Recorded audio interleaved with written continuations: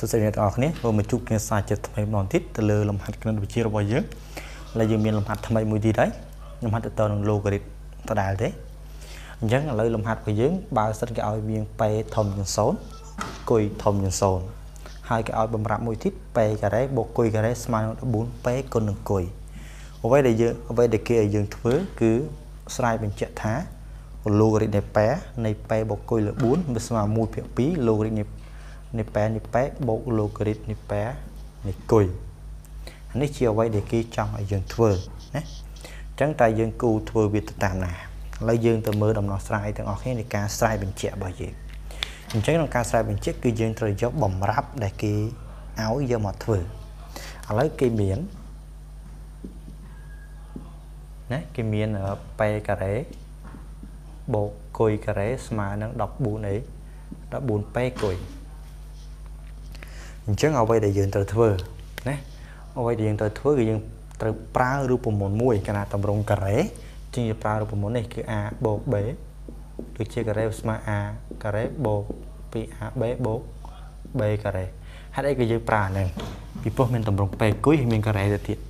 អញ្ចឹងយើងត្រូវថែមវាហើយអញ្ចឹងអាចទៅសេថាពេការ៉េបូក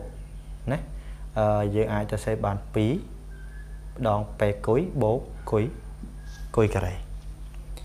អញ្ចឹងស្មើ14ពេគុយ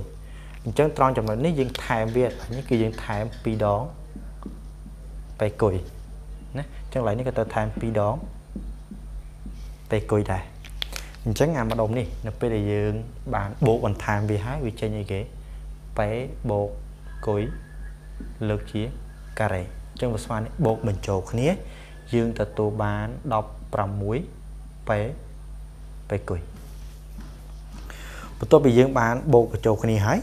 នេះ16អញ្ចឹង16វាអាចមានការ៉េវាមានការ៉េអញ្ចឹងអានេះសេតាប៉ែបូកគុយទាំងអស់នេះលើកជាការ៉េយើងចែកនឹងបាន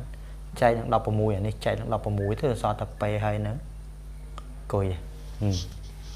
អញ្ចឹង16 16វាមានការ៉េអញ្ចឹងបើ16មានការ៉េនោះអាចទៅសេបានតែប៉ែ បូកគុយលើអីលើ4លើកជាការ៉េវាស្មើនឹងអីគេប៉ែប៉ែគុយអញ្ចឹងត្រង់ចំណុចនេះយើងធ្វើការបំបត្តិការ៉េអញ្ចឹងនាំឲ្យអញ្ចឹងនាំឲ្យប៉ែបូកគុយលើ4ពពាកឬការ៉េស្មើប៉ែអីប៉ែគុយអញ្ចឹងបើប៉ែគុយគេអាចធ្វើបានទៅទៀតដែរអញ្ចឹងស្មើអានេះប៉ែគុយ ទាំងអស់នេះស្វ័យគុណ1លើ2ពីព្រោះអីរើសទី n នៃ a ស្វ័យគុណ k វាស្មើនឹង a ស្វ័យគុណ k លើអី k លើ n នេះរូបមន្តដែលយើងត្រូវប្រើអញ្ចឹងយើងទទួលបានណា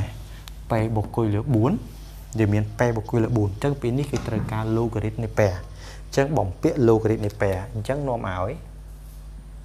ណានាំឲ្យ logarit នៃប៉ែនៃប៉ែបុគ្គលលើ4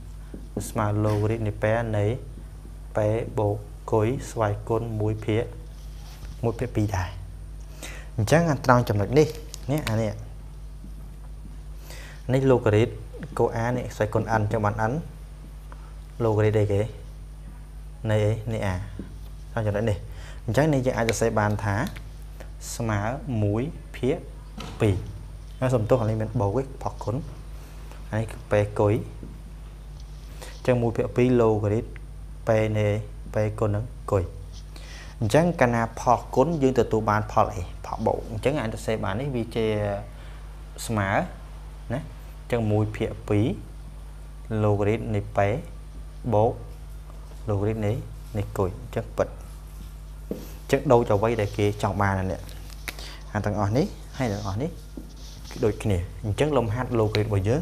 នៃការស្រាយបញ្ជាក់របស់យើងនេះ លោករីនីពែនៃប៉ែបុកគុយលើ4គឺស្មើនឹងប៉ុណ្ណឹងជាការស្រេចចឹងលំហាត់លោករីរបស់យើងបានបញ្ចប់តែប៉ុណ្ណឹងហើយយើងនឹងបន្តទៅលំហាត់ថ្មីមួយផ្សេងទៀតបាទសូមអរគុណ